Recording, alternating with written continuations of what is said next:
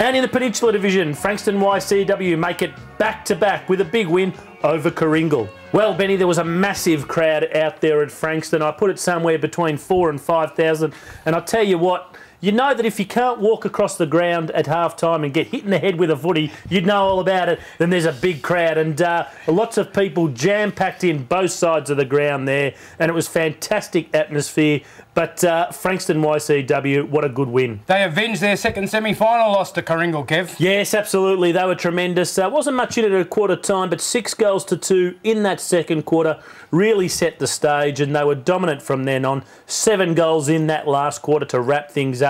Lewis Roberts, he was the uh, best on ground medalist. He was the chief destroyer. He kicked four goals. Cole Hutchinson was also terrific for them. Another four goal bag up there for him. And Tony Lester was also another good contributor. Yeah, they had plenty of good players, particularly that forward line, Benny.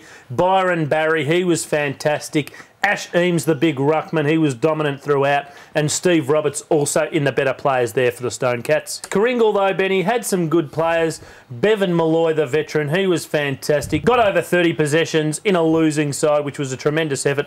Luke Van Ray and the coach Brendan Dunn also in the better players. Alan Williams, Brendan laid for his five goals. Chris Hay was also good. He bagged four. Yes, but just not enough consistency there from the Karingal players. They would have been pretty disappointed with their efforts. But I tell you who weren't disappointed, Benny, and that was the Frankston YCW crowd. Here they go in that last quarter, holding up the banner. Bye bye, Karingal, and giving it to the Karingal supporters in that last quarter. There was plenty of atmosphere over there on that outer side. A bit of byplay in that last quarter added to the atmosphere.